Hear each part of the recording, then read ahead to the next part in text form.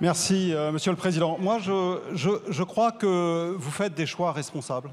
Je crois que euh, vous êtes en train, effectivement, de gagner euh, la bataille idéologique. Et je vais, essayer de vous expliquer pourquoi je pense cela. Parce que tous vos amendements contre le capital, contre les entreprises, s'inscrivent clairement dans une stratégie, dans une stratégie anticapitaliste, d'inspiration marxiste. Et cette stratégie comprend trois étapes. La première, s'attaquer aux riches, aux bourgeois, pour aller vers une société sans classe. La seconde s'attaque à la propriété privée avec euh, une démarche confiscatoire pour aller vers une appropriation collective des moyens de production.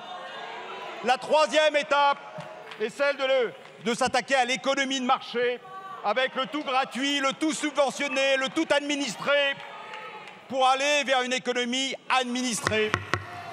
Entre la société capitaliste que nous défendons, que je défends, et la société communiste que vous défendez, je vous il y a ces trois étapes. vous invite à, conclure, nous les collègue. refusons car elles conduisent en définitive à une forme de dictature du prolétariat. Merci. Merci.